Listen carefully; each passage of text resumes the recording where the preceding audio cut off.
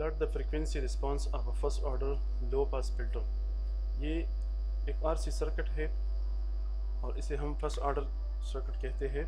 इसमें कोई तीसरा एलिमेंट नहीं है इंडक्टर या कोई तीसरा कैपेसिटर वगैरह। इसे हम कहते हैं low pass filter first order circuit इसे लो पास फ़िल्टर इसलिए कहते हैं जब इनपुट पर फ्रिक्वेंसी ज़ीरो होती है तो इसका जो इंडक्टिव रिएक्टेंस है, वो हाई होता है, और ये एज ओपन सर्किट काम करता है।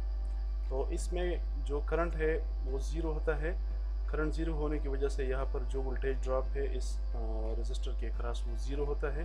तो इस पॉइंट पर हमें जो इनपुट वोल्टेज है मैक्सिमम वोल्टेज हमें मिलता है।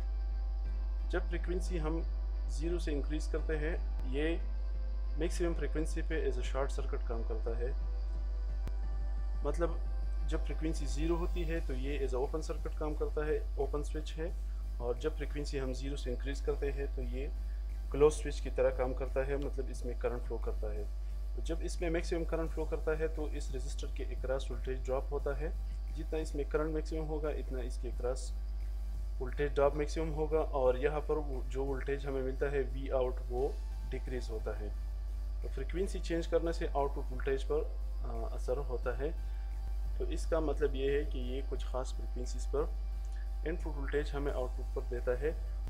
और जब हम फ्रिक्वेंसी इंक्रीज़ करते हैं तो आउटपुट वोल्टेज ज़ीरो हो जाता है। जिस फ्रिक्वेंसी पर ये इनपुट आउटपुट पर देता है, उसे क्रिटिकल फ्रिक्वेंसी कहते हैं या कट ऑफ़ फ्रिक्वेंसी उस फ्रिक्वेंसी से हम जब फ्रिक्वेंसी इंक्रीज़ करते हैं तो इनपुट आउटपुट और हमें नहीं मिलता। अब ऑर्केड में हमने ये वाला सर्किट बनाना है। ये वे ए सी सोर्स है टेन वोल्ट का। यहाँ ये रजिस्टर है और ये कैपेसिटर है वन नैनो फेराट का।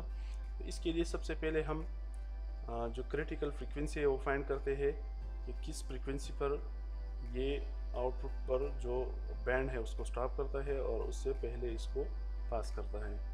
तो यहाँ पर मैंने फार्मूले में इसकी वैल्यूज़ लगाई है। आर है थाउज़ेंड ओम्स और सी है वन नैनो फेराड तो जब इसको हम सॉल्व करेंगे तो ये तकरीबन बनता है 159 kilo hertz 160 kilo hertz frequency से कम फ्रीक्वेंसी पर ये इनपुट वोल्टेज आउटपुट पर पास करेगा और 160 किलो हर्ट्ज़ से जब फ्रीक्वेंसी इंक्रीज़ होगी तो ये आ, तो ये इनपुट आउटपुट पर स्टॉप करेगा इनपुट हमें आउटपुट पर नहीं मिलेगा। और कैड में मैंने ये वाला सर्किट ड्रा किया हुआ है ये एसी सोर्स हैं वी ए सी इसमें हम वी ए सी इंस्टॉल करते हैं वी साइनोसाइडल नहीं लगाते यहाँ पर। ये रजिस्टर है ये कैपेसिटर है यहाँ पर मैंने वोल्टेज मार्कर प्लेस किया है। और पी स्पाइस सिमुलेशन यहाँ पर मैंने इसकी जो रेंज है वो वन से लेके टेन थाउज़ेंड किलो हर्ज रखा है।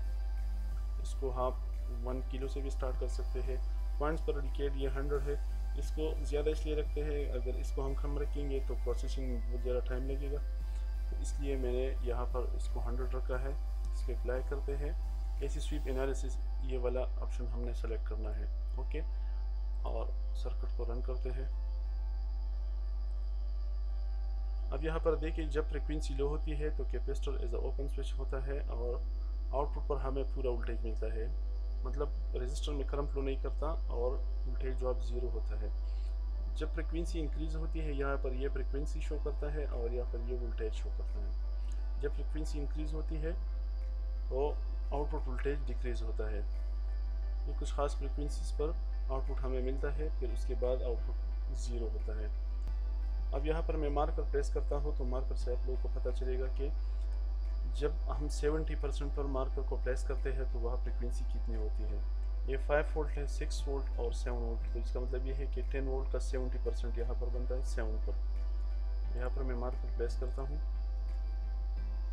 अब यहाँ पर फ्रिक्वेंसी रेंज चेक करें। ये सेवन वोल्ट पर मैंने मार्कर प्लेस किया है। इसका मतलब ये है 70 परसेंट पर।